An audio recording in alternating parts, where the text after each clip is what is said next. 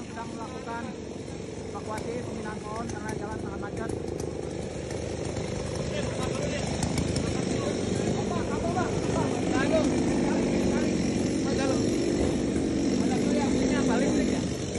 Iya, kabel listrik. Ini patah dong